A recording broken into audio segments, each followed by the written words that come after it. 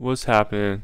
This is JT back with another episode, and you know the brisk chill is in the air. The fall feeling is here. It's time to bust out those light jackets, the hoodie swag, maybe some beanies, if you could pull it off, with little whoop-de-wop hair, swoop underneath it.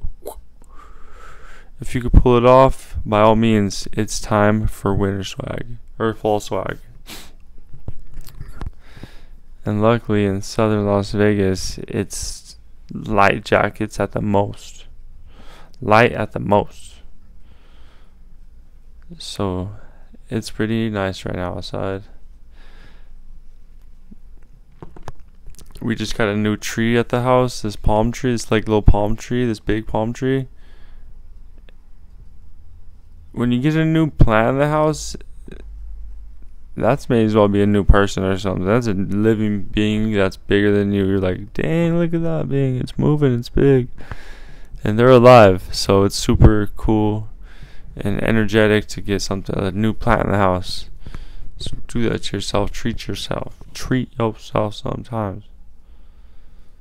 That's why I have the hair in the palm tree today because we have a palm tree that we just birthed and it's beautiful. But yeah and um another thing i had on my mind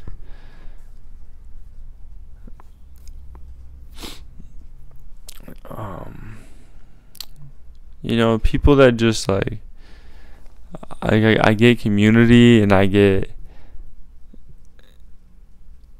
I get community and I get like relationships and I uh, going to frequenting places but it annoys me because I, I at the retail shop I work it annoys me like low like frequent people are cool but after a while you run out of shit to say to people even if you see them every day you're just like all you can do is really be nice but like for some people they want more you're just like dude, we've been through this a bunch. I can't do more for you, really. Like, you still gotta pay for what you're getting, bro. And, and just be cordial and nice. But like, sometimes there's just a couple people that always want to take it too far, and you're just like, it's not my turn no more, bro. It's time to pass you on to the next gen, second generation of workers because I don't put my time in with your way.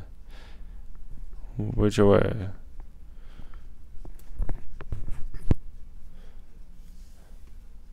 But and that's about it. As I uh they gave the two autistic kids, the two autistic Hall of Famers, Eli and Peyton Manning, they gave those two guys a spotlight on Monday Night Football. I was like, oh yeah, give the retarded monkeys a fucking the retarded CTE driven autistic boys a spotlight to see them fucking through some through some shit. They might have like like they're so awkward and so autistic, like it's funny, but I guess that's in now. You know who brought that that, that comedy though was Will Ferrell. And you know what? I can't blame it. I'm hating right now, but I do love that kind of shit. I do like it. That goofy, like autistic kind of like oopsie, like uh, you know Will Ferrell type shit, just being hilarious. Jim Carrey, Will Ferrell, those are the boys. Even Adam Sandler does it in a lot of his movies, just like really going, getting, really acting it out. And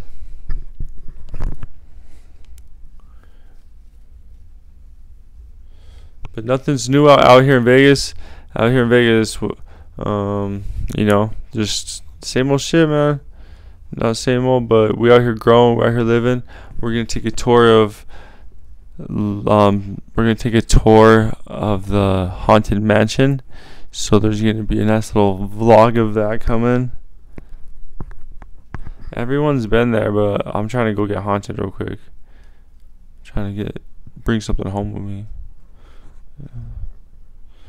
I could Something good.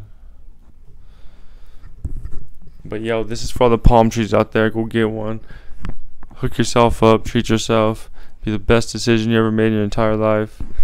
It's a living being in your house that's breathing air or you know, eating air, releasing carbon dioxide, you know, or eating carbon dioxide, releasing air. I'm a scientist, I know.